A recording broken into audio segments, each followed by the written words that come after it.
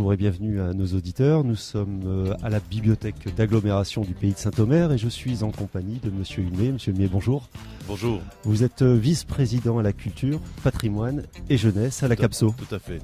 Alors c'est un poste bien entendu qui est très en lien avec euh, aujourd'hui notre événement, hein, avec celui que nous fêtons ce soir, c'est la nuit de la lecture. Mhm. C'est la première fois que vous assistez à cet événement? Alors c'est la deuxième fois, c'est un événement national donc et c'est la deuxième édition cette année. Et ça fait partie finalement d'un grand nombre d'événements qui se déroulent tout au long de l'année, que ce soit la nuit des musées, la fête de la musique, enfin tous ces événements nationaux auxquels évidemment euh, l'agglomération se, raccroche. La, région de Saint-Omer, enfin le pays de Saint-Omer est une est une zone éminemment euh, tournée vers la culture. Hein. On se souvient euh, de toutes les actions liées à Shakespeare et à bien d'autres événements. Et bientôt de nouveaux équipements, notamment le théâtre qui va bientôt ouvrir ses portes. Tout à fait après la chapelle des Jésuites hein, qu'on vient d'inaugurer il, y a quelques mois, au mois d'octobre. C'est le théâtre donc qui va être rendu à la population à partir du mois de septembre de, cette année. Donc avec euh, tout un programme qui va d'abord permettre à, la population de redécouvrir ce lieu, puisque je pense que la population est très en attente de pouvoir euh, euh, revivre dans le théâtre, hein, puisqu'il est fermé, comme chacun le sait, depuis maintenant 1973. Donc bientôt 45 ans. beaucoup d'entre nous ne l'ont pas connu, du coup. Tout à fait, oui, oui. Hein. Et puis après cette grande période de réappropriation par la population, eh bien c'est la programmation qui va commencer à, proprement dite. Hein. Mm. C'est pour ça qu'en 2015, on a créé cet établissement public de coopération culturelle, la Barcarolle, pour évidemment anticiper la préparation du projet de fonctionnement de cet équipement tant attendu euh, par tous les Audomarois. D'accord, on l'attend vraiment avec impatience. Alors, euh, je, me permets de revenir un peu euh, sur notre sujet aujourd'hui. Euh, donc, la, bibliothèque d'agglomération du pays de Saint-Omer est, est au cœur de la ville, mais est au cœur aussi d'un réseau plus vaste aujourd'hui. C'est un établissement structurant hein, au niveau de la politique culturelle et au niveau notamment de la lecture publique, puisque cet établissement est d'agglomération et il fédère autour de lui le réseau des, bibliothèques de cette agglomération. Alors c'est un réseau qui s'est euh, particulièrement étoffé euh, depuis quelques années et qui a permis donc euh, aux, bibliothèques rurales notamment bah, de conserver leur âme et de conserver aussi euh, euh, ce fonctionnement avec des bénévoles, parce qu'il y a un grand dévouement des, bénévoles pour la pour, les bibliothèques. Donc finalement, on a mis en place un certain nombre de un certain nombre de, choses. On a informatisé ces bibliothèques et on a formé ces bénévoles. C'était extrêmement important de, de, pouvoir les aider à, à utiliser ces, ces outils numériques.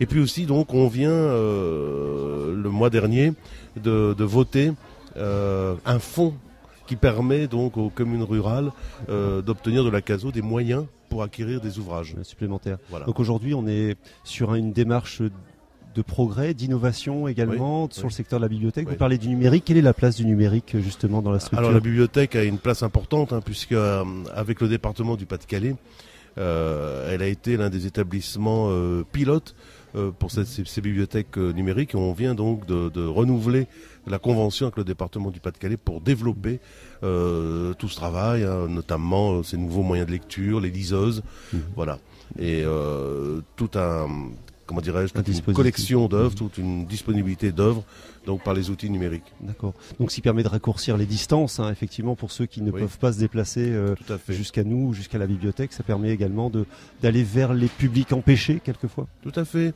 Et puis, on a aussi mis en place, puisque vous parlez de publics empêchés, avec euh, d'autres services, notamment les services des, des, villes de portage des repas à domicile chez les personnes âgées, euh, la possibilité de pouvoir aussi euh, leur permettre d'acquérir un livre, enfin de, pouvoir accéder au service de la bibliothèque. D'accord. Donc ça devient, le livre devient un lien social, une manière de, conserver un lien et tout à fait comme la, proximité. Voilà, comme la culture en général. Hein, c'est vraiment l'une des valeurs de cette politique culturelle développée au, sein de, la CAPSO, c'est le lien social, c'est de faire en sorte que, euh, évidemment, l'ensemble des, habitants viennent vers les, lieux structurants, mais aussi que les lieux structurants euh, aient une politique hors les murs pour aller vers ces habitants. Hein. C'est vraiment cette idée de la démocratisation culturelle et de l'éducation artistique et culturelle pour tous les âges, hmm. ce, qui, nous a valu de, de mettre en place un contrat local d'éducation artistique qui permet donc d'accueillir chaque année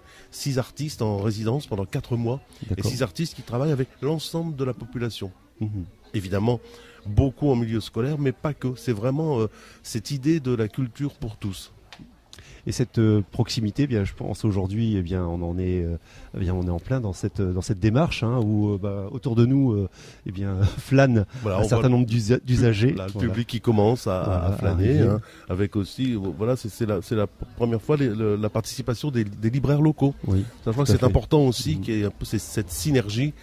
Euh, au niveau de, la lecture publique et que tous les acteurs puissent se réunir euh, pour travailler ensemble. Et c'est d'ailleurs euh, ce que je souhaite vraiment au niveau de la culture et c'est vraiment donc un peu, je dis souvent, c'est l'ADN de la politique culturelle de, cette agglomération, c'est que tous les établissements, que ce soit la bibliothèque, les établissements d'enseignement artistique, les, lieux de diffusion, puissent collaborer le plus possible pour porter ce projet culturel au plus haut. Bien sûr, c'est un, c'est un ensemble qui forme euh, vraiment un tout. Et, tout à fait, c'est extrêmement important. Tout à l'heure, on va avoir la participation du conservatoire, par exemple, dans cette bibliothèque. Et c'est vraiment important que, que, que les acteurs culturels euh, puissent euh, finalement avoir cet objectif commun de démocratisation culturelle. Très bien. On peut parler de, projets euh, peut-être euh, à, moyen ou à long terme que vous avez envie de, porter euh, au niveau culturel sur le, sur le pays de Saint-Aubert? Oui, ben, projets, il y en a, il y en a beaucoup. Il y a, évidemment donc cette réouverture du théâtre, hein, que l'on a, évoqué tout à l'heure. Hein. Mais c'est aussi que, que finalement chaque, chaque acteur culturel puisse trouver sa place dans cette politique. Mm.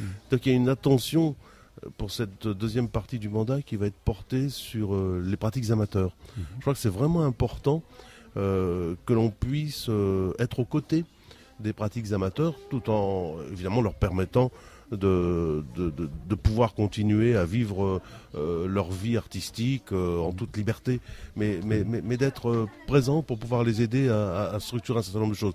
C'est un peu ce qui s'est passé dès l'ouverture de la chapelle, puisque le week-end qui a suivi donc euh, l'ouverture d'inauguration, on a immédiatement euh, offert la chapelle euh, aux ensembles amateurs, hein, qui se sont appropriés d'ailleurs ce lieu pour un grand week-end. Hein, et je crois qu'on renouvellerait, on, va renouveler ce type d'action non seulement autour de la chapelle, mais dès que le théâtre sera ouvert. Hein, parce qu'il y, y, a une forte demande et c'est légitime, comme je le disais tout à l'heure. Premier objectif, c'est de rendre ce théâtre à la population, donc il faut aussi le, le rendre à ses praticiens amateurs. Très bien. Eh bien, écoutez, merci pour votre initiative. Euh, merci d'être venu euh, à notre à notre table pour parler euh, de la culture et spécialement de la bibliothèque ce soir. Je vous remercie, Monsieur Humet. Merci à vous.